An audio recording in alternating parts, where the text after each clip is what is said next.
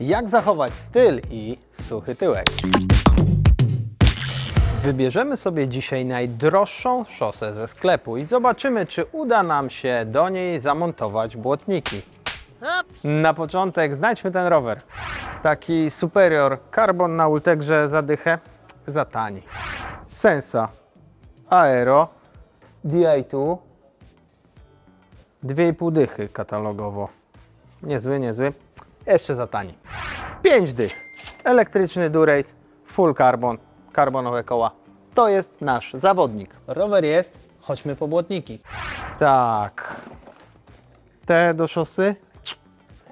Chyba trochę za grubo. Może coś takiego tekturowego. O, z tego sobie coś wybierzemy. Tu jeszcze mamy takie na stelażu, to też weźmiemy ze sobą. W dawnych czasach używaliśmy takich pełnych błotników, ale dzisiaj to się już ich chyba nie stosuje. No dobra, trochę tego nabraliśmy. Pokażę Wam, jak kiedyś wyglądały błotniki w rowerach szosowych. Myśmy wtedy mieli zimówki, takie rowery tańsze, już zajechane albo w ogóle niewyścigowe, przystosowane do zamocowania takich błotników.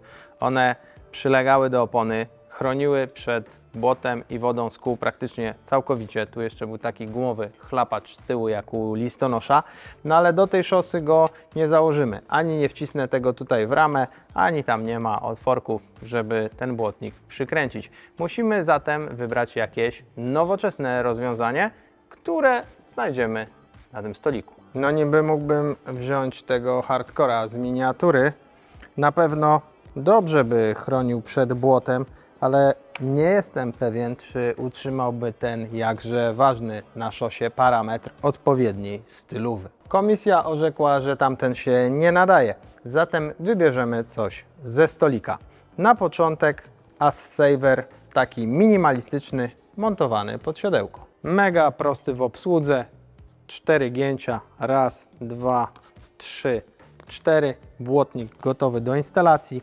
Wsuwamy go pod siodełko, wjeżdża nam tutaj do końca, łapie się za nosek, podginamy blokadę do góry, błotnik jest zamontowany. Oczywiście nie jest to rozwiązanie idealne. Cała woda będzie leciała za nas, ten błotnik zbierze tylko to, co sami sobie wyrzucilibyśmy na plecy. Niby nic, ale każdy z Was, który jechał szosą w deszczu, wie, jakie to jest nieprzyjemne, kiedy litry wody leją nam się na plecy, a potem ściekają, no sami wiecie, gdzie ściekają. Znacznie lepiej będzie chronił taki błotnik montowany bezpośrednio do ramy. Zobaczmy, jak będzie to wyglądało.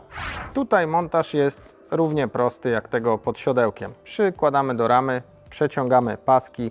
Dużą zaletą jest na pewno to, że można go w parę sekund zamontować i potem jak już nie będzie potrzebny, to zdjąć.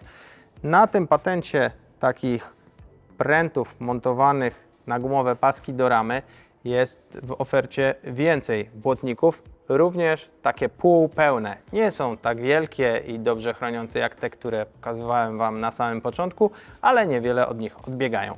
A tutaj nasz bohater, którego aktualnie mamy na rowerze, jak widzicie już dużo więcej nam zasłania, troszeczkę chroni to, co wyrzucamy do góry, co potem leciałoby do tyłu.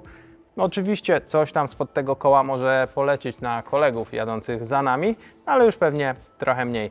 E, dodatkowo też ten błotnik dostępny jest w różnych kolorach i co ciekawe w różnych szerokościach. Także jeżeli macie Road Plusa albo Gravela, to też możecie zastosować takie rozwiązanie. W zasadzie błotniki typu As Saver mają same zalety. Są relatywnie tanie, jak widzicie jest mega dużo wzorów, co więcej możecie sobie zamówić personalizowane.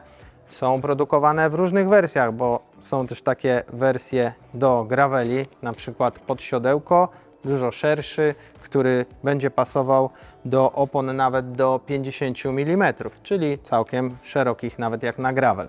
Jest też, jak widzieliście, zamontowaną na rowerze ta wersja na wysięgnikach i oczywiście szersza opcja tej wersji na wysięgnikach. Myślę, że jest to całkiem stylowe, komfortowe i niedrogie rozwiązanie, żeby jakoś się na tej szosie uratować, jak trzeba jechać po mokrym. Rozbudowaną wersją tego typu błotników są SKS-y Race Blade. Też montowane na takich wysięgnikach, tylko podwójnych, to są takie wielkie, potężne błotniki, które, jak mówiłem, chronią już praktycznie w pełni i też mogą mieć chlapacze, jak u listonosza.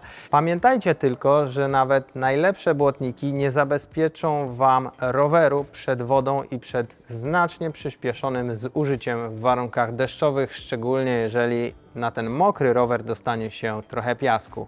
A najgorzej już, jeżeli wasza odzież, na przykład ochraniacze na buty, zacznie obcierać wam o korbę, albo długo będziecie jechali w deszczu po właśnie zabrudzonej nawierzchni. Taka deszczowa przygoda, wycieczka 30-100 km może zniszczyć rower dziesięciokrotnie bardziej niż jazda w suchym. I on może po takich 100 km w deszczu wyglądać gorzej niż po 1000 km przejechanych po suchym. Także moja rekomendacja jednak jest taka, żeby albo na deszcz mieć starego gruza, który już i tak ma w życiu ciężko, albo po prostu zostać w domu i potrenować na trenażerze. Stacjonarnie macie ciepło, sucho i bezpiecznie, ale jeżeli koniecznie chcecie iść jeździć po mokrym, to jak widzieliście można do szosy dobrać stylowe błotniki. Do nich będzie Wam potrzebna również odpowiednia odzież. Tu macie o tym film.